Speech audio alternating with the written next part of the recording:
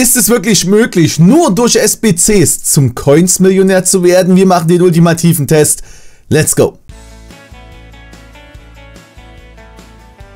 An die smarteste Community auf YouTube, herzlich willkommen zu einem weiteren Video auf meinem Kanal. Einen wunderschönen guten Abend wünsche ich euch zum Doppelupload und zu einem neuen Projekt, was wir angehen werden. Ihr kennt es schon von den letzten Jahren, SBC-Account. Lohnt er sich, ja oder nein, beziehungsweise schaffen wir es nur durch SBCs, durch Packlack, ja, zum Coins-Millionär zu werden. Über, über oder innerhalb von FIFA 20. Das ist die ganz große Frage. Zuallererst erstmal würde ich mich freuen, wenn ihr auf die Serie gehypt seid, wenn ihr Bock auf die Serie habt, wenn ihr kleine Tricks und Tipps vielleicht zu SPCs immer wieder bei diesen Serien bekommen möchtet.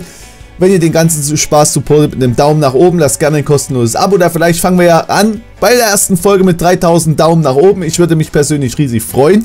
Vielen, vielen Dank schon mal dafür. Video wird unterstützt von Football und Start Select. Denkt dran, Packs kann süchtig machen. SBCs ist ein großes Thema. Wir wollen uns heute mal damit beschäftigen, beziehungsweise in den nächsten Wochen, vielleicht auch Monaten damit beschäftigen, ob es wirklich sich lohnt, bestimmte SBCs zu machen. Dabei werde ich immer wieder darauf eingehen, welche SBCs ich gemacht habe. Ihr seht im Hintergrund, was ich für die Spieler bezahlt habe. Und im Endeffekt sehen wir dann auch die Packs, die wir ziehen werden, plus Verkäufe. Bestimmte Regeln, die ich übernehme von meinem Hauptaccount, beziehungsweise von meinem äh, RTG-Account über bis hin zu dieser SBC oder zu diesem Account. Ähm, bevor wir aber richtig reinstarten, nochmal ein ganz kurzer Real Talk aus der äh, Süd.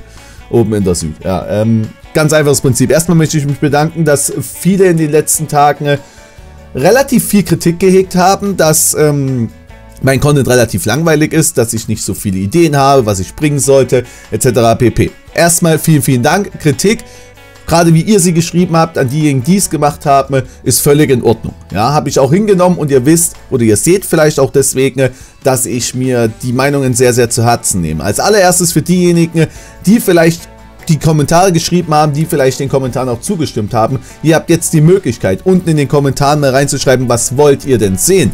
Denn im Endeffekt, für diejenigen, die mich auch wahrscheinlich drei, vier Jahre kennen, werden es wissen, dass gerade am Anfang von FIFA, beziehungsweise bis zum Team of the Year, immer so ein Content gekommen ist. Wir haben immer über alles Neues geredet. Wir haben immer über den Markt geredet. Und wenn es drei, vier Mal die Woche war, ähm, wir haben SPCs abgeschlossen und so weiter und so fort. Das ist eigentlich völlig normal gewesen. Im Endeffekt sind wir von der Reichweite viel, viel größer geworden und das bedeutet natürlich, dass auch andere Leute eben dazukommen. Gerade diejenigen, die halt im letzten halben Jahr dazugekommen sind, sind es natürlich nicht gewohnt durch die ganzen Kooperationen, dass so ein Content kommt. Ich kann euch da aber auch absolut verstehen und ich möchte da mit meiner Community, mit euch da draußen einen relativ guten Einklang finden, weil es bringt mir persönlich nichts, wenn ein großer Teil einfach den Content jetzt nicht so gut findet, beziehungsweise wer ich gut finde, ist der eine Teil findet den Content gut, der andere vielleicht den Content und den Content, der halt gerade fehlt, den würde ich sehr gerne bringen. Deswegen schreibt mal gerne eure Meinungen rein. Nehmt es mir nicht übel, ich hatte in den letzten Wochen relativ viele private Probleme, die ich auch niemals auf YouTube irgendwie raushauen werde.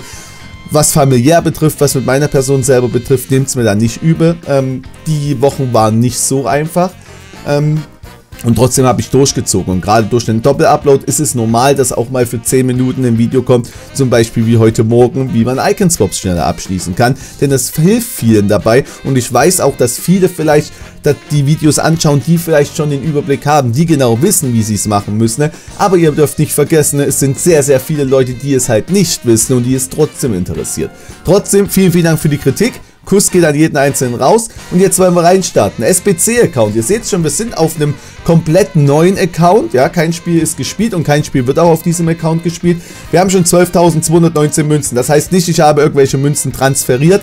Nein, macht das bitte nicht. Es ist ein Account, der mit der gleichen E-Mail-Adresse, glaube mit irgendeinem anderen Account zusammenhängt. Ich glaube mit dem RTG-Account. Und dadurch wäre ich in der Web-App immer wieder dort auch eingeloggt und dort habe ich mir immer meine Tagesgeschenke abgeholt. Ob ein paar Münzen es waren, ob es Packs waren, die habe ich halt immer so ein bisschen gezogen und ein paar haben wir auch noch übrig und da sind dann viele Spieler eben ähm, ja, zusammengekommen, die wir auch auf den Transfermarkt stellen. Erste Devise, was wir definitiv machen werden, wir werden so schnell es geht unsere Transferliste voll machen, egal mit welchen Spielern, egal mit welchen Sachen, mit welchen Objekten etc. pp. Wenn Spieler, und wir gehen davon aus, wir gehen jetzt rein in Bronze-Pack, wenn Bronzespieler 200 Münzen kosten, stellen wir die überteuert für 250 Münzen drauf. Sind die nach einer Woche nicht weg, werde ich sie abstoßen.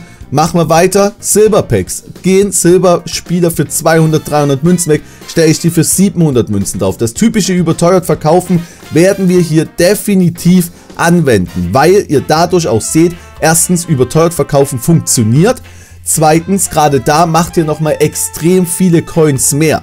Ja, also versucht das auch so zu nutzen. Die Tipps, die ich hier gebe, könnt ihr selber für euch mit entscheiden, wollt ihr sie nutzen oder nicht. Der Rest liegt in eurem, ja, Betrachterfeld. Könnt ihr so machen, wie ihr möchtet. Ja, ihr habt schon gesehen, wir hatten die allerersten Verkäufe schon mit dabei. Die habe ich vor einer Stunde draufgestellt, habe halt äh, gewartet, was so in einer Stunde weggeht.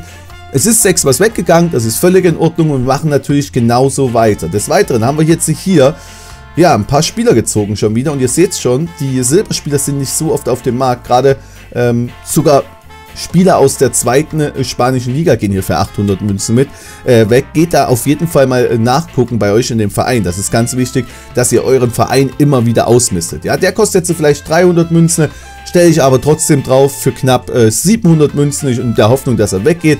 Genauso Verträge kann man auch mal für 200 Münzen draufstellen. Das Wichtigste ist, dass die Spieler oder das, was wir in unserem Verein haben, immer wieder rollende Coins sein könnten. Das bedeutet, immer wieder jede Stunde draufstellen. Das ist ganz, ganz wichtig. Wir machen weiter mit dem nächsten äh, Pack. Nolan ist hier mit am Start. Im Übrigen auch absoluter Retalk zu Sachen, die ich öfters sage.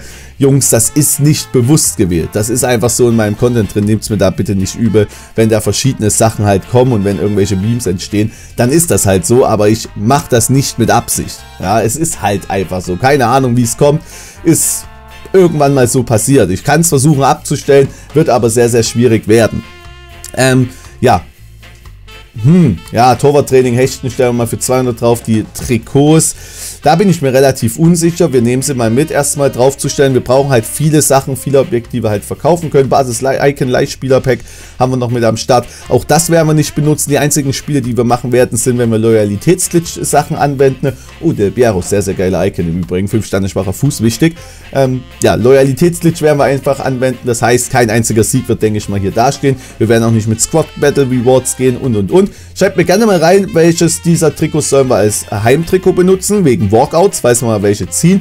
Vielleicht ist dieser Account ja nicht so verflucht wie die, wie die ATG, beziehungsweise auch wie ähm, ja, der äh, ganz normale Pay-to-Win-Account. Gehen wir rein in die Squad Building Challenges. Ähm, das ist erstmal das Team, was wir bekommen haben. Alles, was wir Untrade haben, ist genau hier zu finden. Ihr seht, komplett neu. Ich war noch nie in diesem Ding drin.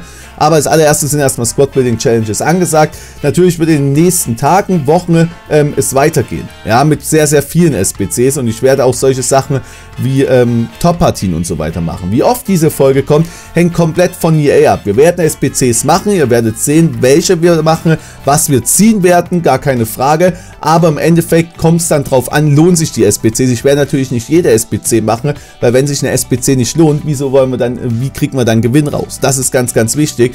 Vielleicht verbinden wir das Ganze noch mit einer Bronze-Pack-Methode. Ich weiß doch nicht, ob wir das hier machen sollten. Vielleicht im späteren Zeitverlauf.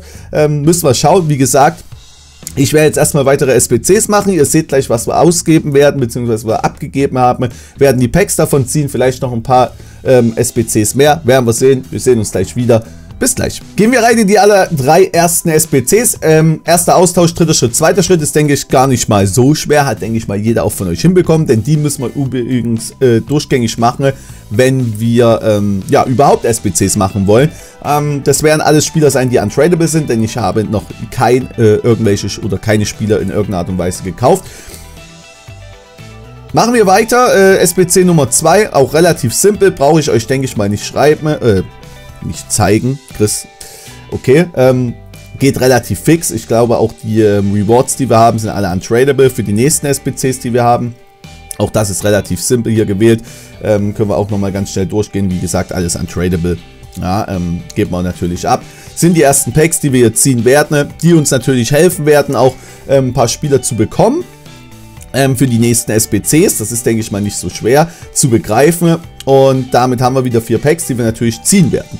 Ähm, wir lassen uns überraschen, Jungs. Wir lassen uns überraschen, was, ähm, ja, beziehungsweise wie weit das Ganze hier gehen wird. Schreibt mir gerne in die Kommentare, macht ihr viele SBCs, habt ihr vier Packlack in SBCs gehabt und vor allen Dingen, was denkt ihr? Kann man wirklich damit eine Million machen? Das ist die große Frage, die ich mir halt stelle und die ich euch zeigen möchte, dass sie wirklich funktioniert.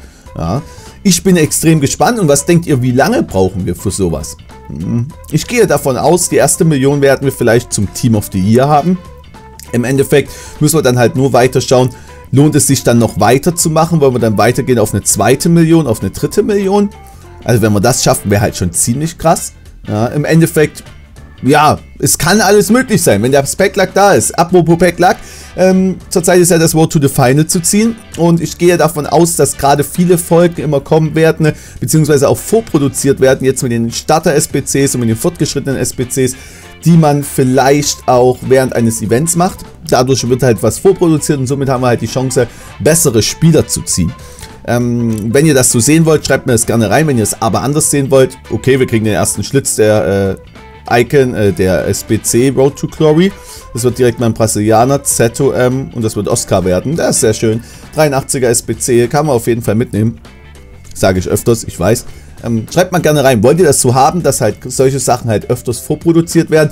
Ich kann natürlich jetzt nicht jeden Tag die SPC raushauen als einzelnes. Ja, das wird einfach nicht möglich sein.